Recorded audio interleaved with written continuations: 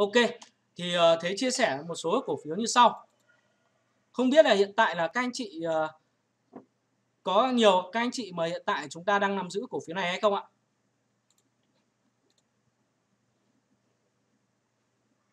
DIG là một cái cổ phiếu mà thế cũng đã khuyến nghị uh, uh, khuyến nghị các anh chị tham gia uh, khách hàng tham gia ở trong uh, thời gian vừa qua.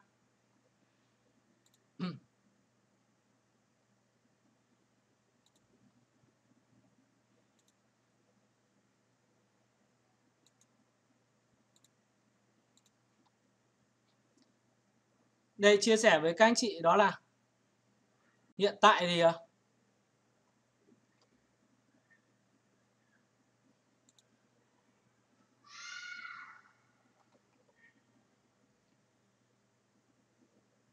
vừa qua chẳng hạn thế cũng đã khuyến nghị các anh chị khi mà cổ phiếu Nam Kim này. Đây à, ngày mùng 4 tháng 8 nữa ngày mùng 4 tháng 8 thì uh, thì thế đã khuyến nghị các anh chị đó là uh, ngày mùng 4 tháng 8 này DG phiên nay tiền vào tốt quá dòng bất động sản tiếp tục là thu hút tiền. Thực ra là thế nhận thấy rằng là các cổ phiếu dòng bất động sản ấy là các cổ phiếu mà có dấu hiệu tạo đáy trước thị trường chung. Các anh chị lưu ý là tạo đáy trước thị trường chung này cái thứ hai là dòng tiền thu hút trở lại này cái thứ ba là đủ cái sự tích lũy tích lũy khá tốt chẳng hạn như DG có nền tảng tích lũy tầm khoảng độ 6 tháng. DG nền tảng tích lũy là 6 tháng thì với những cái trạng thái đó thì thấy thấy rằng là hiện tại là dòng bất động sản đang hội tụ rất nhiều các yếu tố cho thấy rằng đang là dòng dẫn của thị trường và dòng tiền đang tập trung vào rất nhiều các cổ phiếu này. Và vấn đề là chúng ta à, sẽ gọi là trong danh mục của chúng ta thì chúng ta sẽ nên tập trung vào các cổ phiếu dòng bất động sản. Thì dòng bất động sản như thế nhận định từ ngày mùng 4 tháng 8 nhé đó là tiếp tục thu hút dòng tiền mạnh mặc dù là thị trường đang chạm ngưỡng kháng cự và điều chỉnh trở lại nhưng mà phiên nay DG thu hút tiền tốt em khuyến nghị anh chị mở điểm mua mới đối với DG và cái điểm mà thế mở điểm mua đây đó là chia sẻ với các anh chị uh, uh, khách hàng vào 9 giờ 49 này.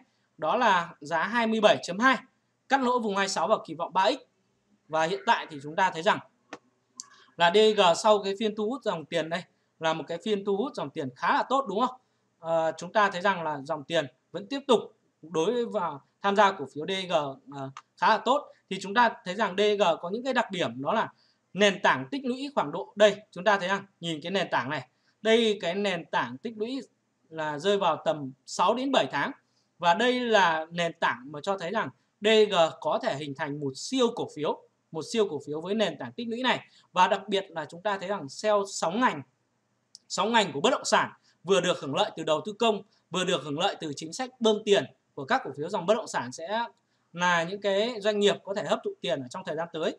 À, khi mà nhà nước bơm tiền ra thì vấn đề là được hưởng lợi rất là nhiều và điều đó là chúng ta thấy rằng vĩ mô là như vậy nhưng vấn đề trên thị trường là dòng tiền đang thể hiện là như vậy.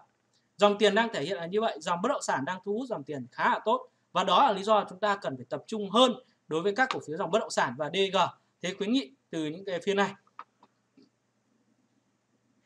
Và tiếp theo đó là À, thế cũng đã khuyến nghị các anh chị là chúng ta tiếp tục là gia tăng thêm tỷ trọng uh, cổ phiếu DG sau khi cổ phiếu mà có đó là có những cái trạng thái bứt phá vượt đỉnh tiếp này. Sau cái phiên uh, mua đầu tiên thì sau đó là thế cũng khuyến nghị các anh chị là tham gia tiếp đối cổ phiếu BG DG là cái cổ phiếu mà tiếp tục bứt phá vượt đỉnh là khuyến nghị ừ, các anh chị tiếp tục là chúng ta sẽ uh, gia tăng gia tăng được tỷ trọng đúng không ạ? Ngày mùng 6 tháng 8 này thế khuyến nghị anh chị gia tăng tỷ trọng, tiếp tục đối với cổ phiếu DG này. KBC phiên này cũng tích cực, tuy nhiên là vẫn ở kênh đi xuống thì thế không khuyến nghị, nhưng mà thế tập trung à, vào cổ phiếu DG đấy là chia sẻ qua với các anh chị về cổ phiếu DG là như vậy. Thì bây giờ chúng ta thấy rằng DG hiện tại là sau cái phiên thu hút tiền từ ngày mùng 4 tháng 8 này, thế đã khuyến nghị này. Tiếp theo là ngày mùng 6 tháng 8 này, cũng khuyến nghị các anh chị gia tăng và đến hiện tại thì DG cũng là cái trạng thái khá là tốt thì thực ra ấy, bản thân DG đã thu hút dòng tiền từ trước nhưng tại phiên này là những cái phiên điểm mua chuẩn. Vấn đề chúng ta thấy rằng là các yếu tố vĩ mô đang có những cái chuyển biến tích cực và cái thứ hai dòng tiền mà lại còn xác nhận nữa thì là cái thời điểm mà chúng ta tham gia vào để chúng ta đánh.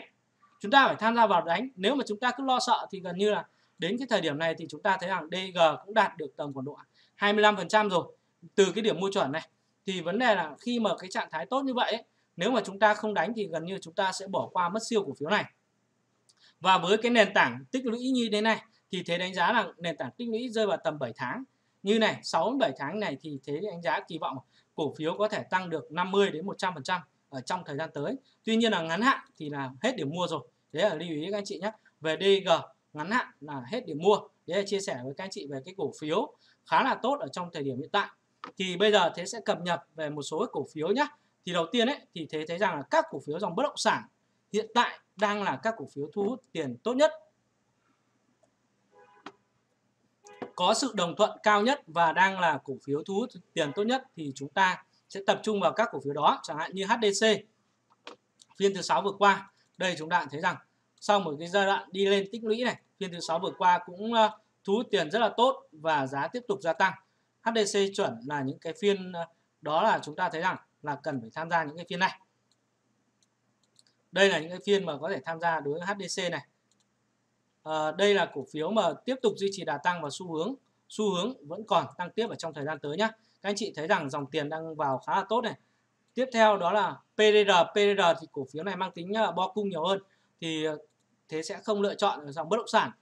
Tiếp theo đó là cổ phiếu HDG HDG thì chia sẻ với các anh chị uh, HDG đây là những cái phiên điểm mua này khi mà bứt phá này với cái nền tảng mà chúng ta thấy rằng cổ phiếu HDG cũng nền tảng như là 6 7 tháng như cổ phiếu DG thì với những cái nền tảng tốt như này thì xu hướng cổ phiếu sẽ còn tăng tăng tốt ở trong thời gian tới nữa. Hiện tại cổ phiếu chưa có nhịp chạy nước rút. Thì đối HDG đây là điểm mua chuẩn này tiếp theo đây cũng là những cái điểm mua tiếp theo của HDG này. Đối với cổ phiếu HDG thì chúng ta thấy không đang cho một cái xu hướng tăng khá tốt. Và đối với cổ phiếu HDG thì chia sẻ với các anh chị như sau là cổ phiếu có dấu hiệu tạo đáy trước thị trường chung. Chúng ta thấy là giai đoạn này thị trường chung còn đang rơi. Lưu ý các anh chị nhé, các cổ phiếu hàng đầu á, thường là các cổ phiếu sẽ tạo đáy trước thị trường chung hoặc là tăng mạnh hơn thị trường chung. Thì đến cái thời điểm hiện tại, đầu tiên nhé, chúng ta sẽ lưu ý nhìn nhé. Thị trường chung đang rơi, nhưng mà Dg đã tạo đáy trước rồi. Và chúng ta thấy rằng thị trường chung đã vượt khỏi những cái vùng hỗ trợ này. Vượt khỏi vùng hỗ trợ tạo đáy và đi lên rồi. Trong khi mà thị trường chung vẫn đang tìm đáy cổ phiếu HDG đã vượt đáy rồi và sau đó là thị trường chung hồi phục. Thị trường chung hồi phục và tăng thì cổ phiếu này đang tăng mạnh hơn thị trường vượt đỉnh rồi. Còn hiện tại là thị trường vẫn chưa vượt được đỉnh cũ. Thì đây cho thấy là hình thành đây là những cái trạng thái của siêu cổ phiếu và đây là những cái trạng thái mà cổ phiếu cổ phiếu sẽ tăng trưởng sẽ rất tốt. Với cái nền tảng tích lũy dài như này ấy, thì thế thấy rằng cổ phiếu có thể tăng 50 đến 100% từ cái nền tảng này đó là chuyện rất là bình thường nhé và hiện tại cái trạng thái mở cổ phiếu à, chúng ta thấy rằng tạo đáy trước thị trường chung đó là những cái tín hiệu của các cổ phiếu dẫn dắt của dòng bất động sản nhé đấy là lưu ý các anh chị là dòng bất động sản đang là một cái dòng thu hút tiền rất là tốt. DG rất nhiều điểm mua này. KDH này. Các anh chị có thể lát nữa các anh chị có thể xem lại cái YouTube của Thế. Thế chia sẻ về uh, gọi là điều chỉnh là để chúng ta canh mua ấy, thì các anh chị có thể xem lại video đây Thế có thể chia sẻ lại với các anh chị về, video này.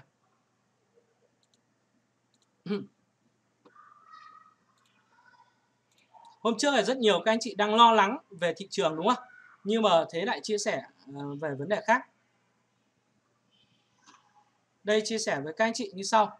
Thì chúng ta thấy rằng trong các video mà thế chia sẻ thì hiện tại là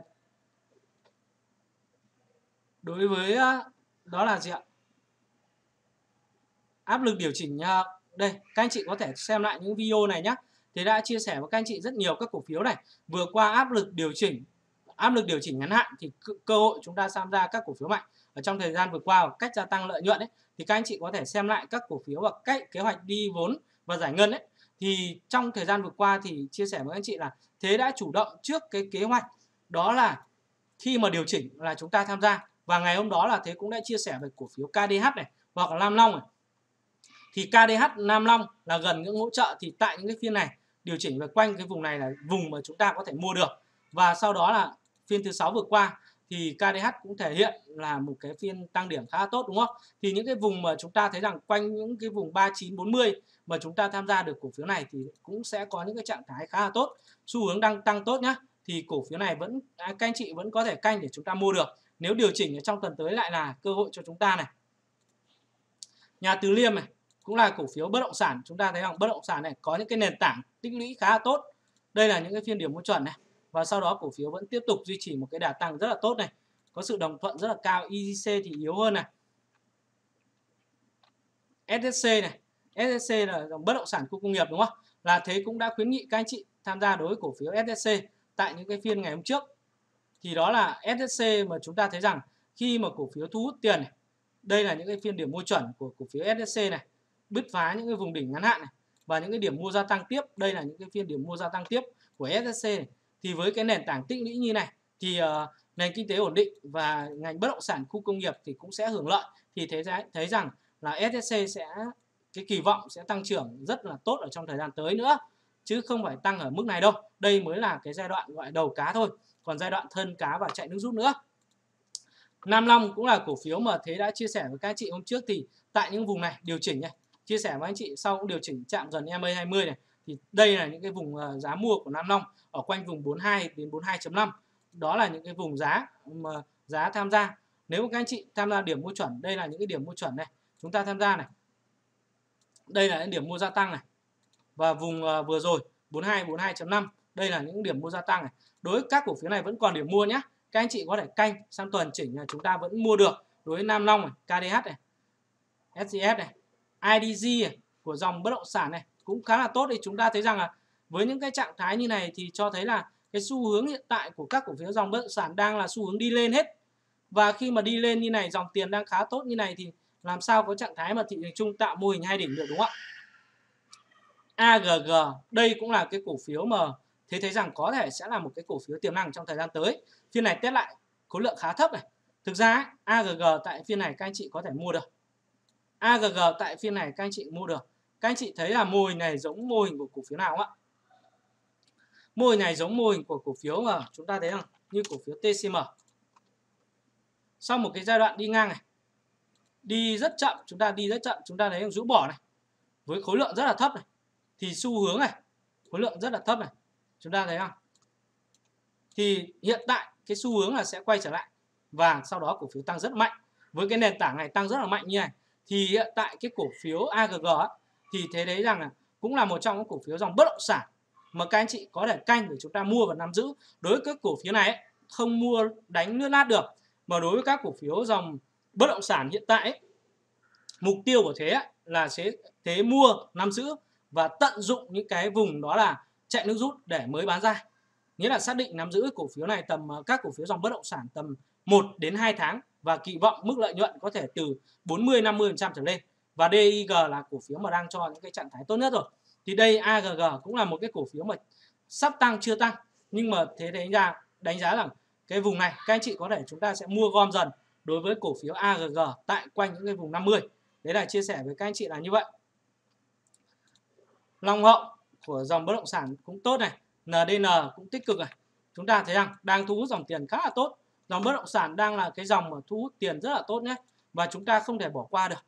Đặc biệt là những cái cổ phiếu hàng đầu CRE CRE nhịp này thì xu hướng là vẫn lên. À, và vùng này cũng đang quanh những cái vùng hỗ trợ rồi. Nhưng mà cổ phiếu này xác nhận là nếu mà các anh chị mua thì chúng ta sẽ mua và cân nhắc mà mua và nắm giữ. Thì các anh chị có thể canh nếu mà chưa tham gia vùng này thì các anh chị có thể canh ở mua ở quanh vùng 51 tại những đóng cửa của phiên ngày à, ngày thứ sáu phiên ngày hôm trước thì xu hướng cao là CRE cũng sẽ hồi phục trở lại nhé. VSM VSMD cổ phiếu có thể thế sẽ chia sẻ sâu hơn với các anh chị một chút nhé. Là VSM tại sao mà thế khuyến nghị các anh chị uh, mua trong những cái phiên vừa qua? Và cũng là cái cổ phiếu mà thế đã lốt lại trong cho các anh chị đó là nếu thị trường chung điều chỉnh thì chúng ta sẽ chọn cổ phiếu nào? Thì VSM là một trong những cái cổ phiếu mà thế xin chia sẻ với các anh chị như sau đầu tiên là VSM cổ phiếu này sẽ được hưởng lợi từ chính sách đầu tư công, bơm tiền. Trong thời gian vừa qua thì chúng ta thấy rằng khối ngoại mua dòng thì khá là tốt. Đấy là về cơ bản về dòng tiền nhé. Và dòng tiền bắt đầu tham gia vào bất động sản. Thứ nhất là về dòng, là tham gia các cổ phiếu dòng bất động sản cũng đang khá là tốt. Thứ hai, nhỏ hơn, đó là về dòng à, về cổ phiếu thì cũng dòng tiền đã trở lại cổ phiếu VSM bằng những cái phiên mà tăng điểm khá tốt, chuẩn bị tích lũy vượt đỉnh và vùng tích lũy dài 4 đến 5 tháng và kỳ vọng là sẽ tăng được khoảng độ 20 đến 30% ở trong thời gian tới nhé. Thì đấy là chia sẻ với các anh chị về cổ phiếu về cổ phiếu VSM dòng tiền chúng ta thứ nhất là về vĩ mô thì uh, cổ phiếu VSM được hưởng lợi từ đầu tư công này được hưởng lợi từ uh, chính sách bơm tiền bơm tiền của nền kinh tế này cái thứ hai nữa chúng ta thấy rằng là xu hướng dòng bất động sản đang thu hút tiền ừ, tích cực và điều mà chúng ta thấy rằng là cổ phiếu VSM cũng đang thu hút dòng tiền khá là tích cực. Đây là những cái phiên, thực ra đây là những cái phiên điểm mua này. Sau đó các anh chị có thể mua gia tăng tại những cái phiên này.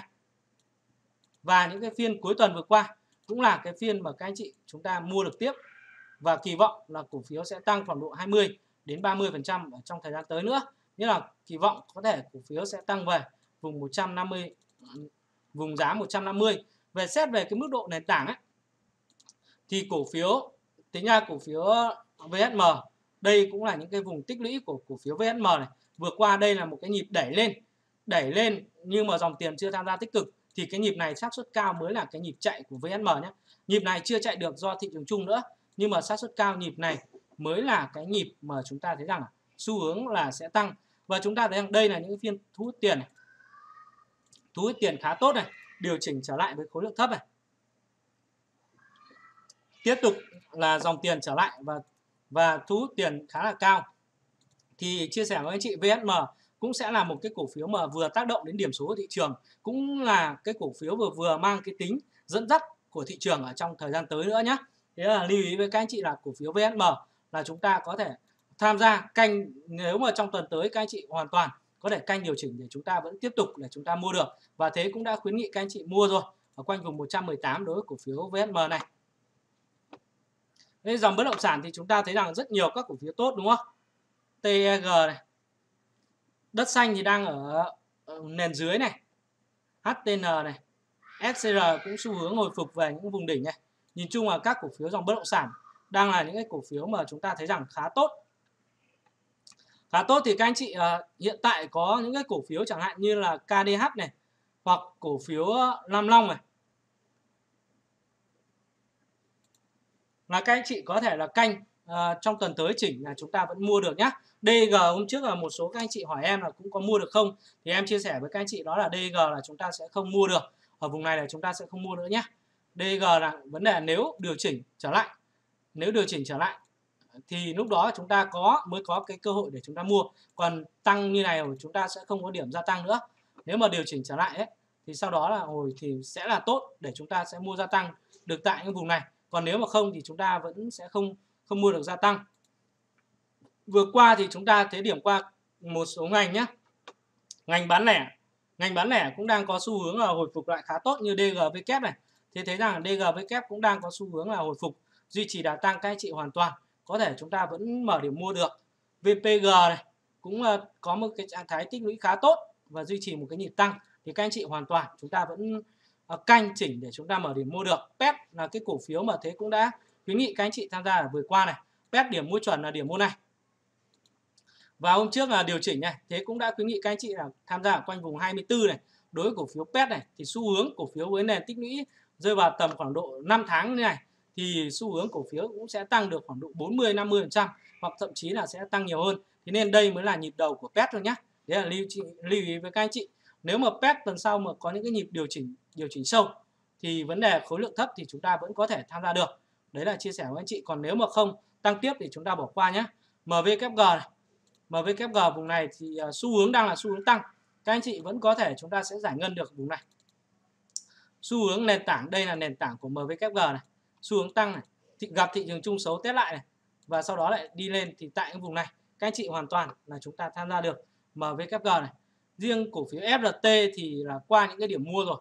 Thì ờ, FLT của ngành bán lẻ thì chúng ta thấy rằng là đối với cổ phiếu này xu hướng vẫn là một cái xu hướng tăng nhưng ngắn hạn thì hết điểm mua rồi.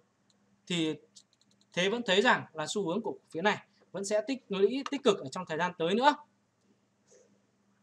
Tiếp theo là các cổ phiếu ở ngành hóa chất thì thế thấy rằng như DPM ấy cái vùng này thông thường tạo đỉnh ngay nếu mà cổ phiếu này mà tăng luôn thì xác suất cao là sẽ tạo đỉnh và rất lâu cổ phiếu mới có thể tăng được. Nhưng nếu mà cổ phiếu có trạng thái tích lũy ở vùng này thì thế thấy rằng là VSM sau lại là một cái nhịp tăng dài tiếp. À, giống cổ phiếu nào các anh chị có nhớ không ạ? Đó là giống cổ phiếu Dabaco này. Dabaco của năm à, HAH bây giờ cũng là những cái trạng thái như vậy nhé chia sẻ với anh chị à Dabaco của năm 2020 sau một cái nhịp tăng rất là tốt này thì cổ phiếu có những cái trạng thái là điều chỉnh này. Nếu mà tích lũy đi ngang thì cổ phiếu sẽ còn những cái nhịp tiếp và xuất hiện những cái điểm mua tiếp theo. Đây là những cái điểm mua tiếp theo của cổ phiếu Dabaco này. Thì trạng thái là hiện tại như là DCM và HAH của dòng cảng biển này thế cũng đang thấy rằng có những cái trạng thái khá tương tự. Nếu cổ phiếu mà hồi lên này tích lũy đi ngang này thì sẽ còn một cái nhịp nữa. Nhiều vấn đề là chúng ta phải chờ đợi. Thời gian tính theo ờ, gọi là à, hàng tuần cơ. 4 5 tuần hoặc 4 8 tuần cơ. 4 đến 5 tuần hoặc là 4 đến 8 tuần. Để chia sẻ với các anh chị như, như vậy nhé thế nên là chúng ta cũng sẽ theo thế đánh giá là sẽ phải chờ đợi thôi. Nhưng mà chúng ta xem các cổ phiếu này hết chu kỳ chưa? Ừ, DCM cũng test lại xu hướng tích lũy thì tốt này. DGC cũng test lại. DGC ở vùng này ngày hôm trước là thế quý nghị các anh chị mua vùng này nhưng mà chịu cái áp lực điều chỉnh. Thì vùng này khi mà chạm cái ngưỡng hỗ trợ thì như thế chia sẻ cái trong mấy buổi ngày hôm trước thì tại quanh vùng đó là 95 94 95 các anh chị vẫn có thể chúng ta gia tăng được tỷ trọng nhé. Cổ phiếu này sẽ mất thời gian một chút thôi. Tích lũy đi ngang rồi xong đó lại đi lên. Các anh chị cần phải kiên nhẫn. Dòng phân bón. Thì ờ, chúng ta cũng phải chờ đợi thêm. PLC PLC thì cũng cho những ờ, trạng thái tích cực. GVR đang có xu hướng về đỉnh cũ này. Lát này DRI này, test lại có thể lên này. Ok, đó là chia sẻ qua với các anh chị một số cổ phiếu ngành hóa chất này. Bây giờ thì chúng ta đến với các cổ phiếu dòng chứng khoán. Dòng chứng khoán hiện tại như hôm trước là thế quý nghị các anh chị mua cổ phiếu VND này, mua cổ phiếu SSI này, hiện tại vẫn đang tích lũy tại đỉnh nhá. Dòng tiền đang khá tốt. Đang khá tốt thì những cái cổ phiếu này thì các anh chị chúng ta vẫn tiếp tục là chúng ta sẽ kiên nhẫn nhá. Các anh chị đang nắm giữ thì chúng ta tiếp tục kiên nhẫn. Ngoài ra là có SHS cũng khá là tốt này VCI này VCI cũng khá tốt. Thì hiện tại là thế đã khuyến nghị các anh chị mua cổ phiếu VND và SSI rồi. Thế nên là sẽ không khuyến nghị các anh chị nữa. FTS cũng là một cái cổ phiếu mà mang tính hàng đầu. Chia sẻ với anh chị là tăng rất mạnh. Nhìn chung là dòng chứng khoán hiện tại thì vẫn đánh, thế vẫn đánh giá là sẽ được hưởng lợi khi mà thị trường chứng khoán vẫn tiếp tục duy trì cái thanh khoản cao ở mức này. Còn dòng ngân hàng hiện tại thì chỉ có một vài cổ phiếu thôi. Chẳng hạn như thế đánh giá là như là HD Bank. HD Bank có thể xu hướng sẽ hồi phục về đỉnh được à? Nghĩa là dòng ngân hàng để tăng mạnh hiện tại thì sẽ phải mất nhiều thời gian. OCB xu hướng về đỉnh này, hoặc là vượt đỉnh này. Còn các cổ phiếu khác thì sẽ mất nhiều thời gian hơn. STB thì xu hướng này, tích lũy này, test lại hỗ trợ cũng xu hướng hồi phục nhưng mà cũng sẽ mất nhiều thời gian nhé. Dòng ngân hàng hiện tại thì thế lại không quá tập trung, thế đang tập trung chủ yếu đánh các cổ phiếu dòng bất động sản. Bất động sản cũng là cái cổ phiếu mà đang thu hút dòng tiền rất là tốt thì các anh chị nên tập trung vào dòng mà đang thu hút dòng tiền tốt nhất hiện tại. Chẳng hạn như là dòng cảng biển và dòng phân bón. Thì chúng ta thấy rằng là chúng ta đã cái các cổ phiếu dòng đó rồi. Thì là đã tăng khá là mạnh rồi trong ngắn hạn. Và khi mà ngắn hạn như vậy thì chúng ta sẽ không còn những cái điểm mua nữa. Nhưng đối với các cổ phiếu của dòng bất động sản thì rất nhiều các cổ phiếu vẫn cho những cái điểm mua. Thì các anh chị vẫn có thể tham gia được. Chẳng hạn như tuần tới, các anh chị tiếp tục tham gia Lam Long này KDH như thế cũng đã khuyến nghị các anh chị rồi.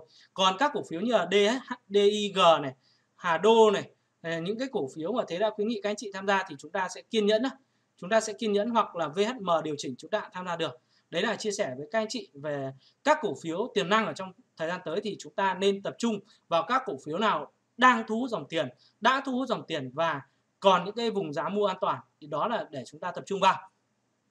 Vâng, à, xin cảm ơn tất cả các anh chị đã theo dõi bản tin thị trường tuần à, từ ngày 16 đến ngày 20 tháng 8 năm 2021 của hệ thống đầu tư AltaGet.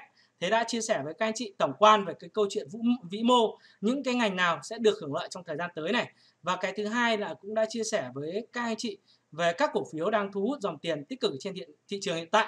Vấn đề của chúng ta đó là chúng ta sẽ chuẩn bị những cái kế hoạch, những cái vùng mua nào để chúng ta có thể tiếp tục gia tăng cái tỷ trọng của chúng ta cũng như là chúng ta mở điểm mua mới còn những cái cổ phiếu mà đang tốt thì chia sẻ với anh chị là và đang tốt đấy thì hiện tại ấy, là chúng ta vẫn tiếp tục là kiên nhẫn nắm giữ chẳng hạn. DIG này à, gần 30% trong vòng à, khoảng độ à, chưa đầy 2 tuần gần 30% thì đó là những cái cổ phiếu mà chúng ta nên kiên nhẫn nắm giữ này. Nam Long và KDH này vấn đề là hiện tại vẫn còn những cái vùng giá mua. VSM canh chỉnh vẫn còn vùng giá mua. Thì các anh chị hoàn toàn để chúng ta có những cái thời điểm uh, chủ động canh cái kênh để chúng ta có thể mua được ở trong những cái tuần tới. Vâng, à, xin cảm ơn tất cả các anh chị đã theo dõi bản tin của thế ngày hôm nay. Các anh chị nhớ like video và đăng ký để ủng hộ kênh hệ thống của hệ thống đầu tư A Target nhé. Xin cảm ơn và hẹn gặp lại.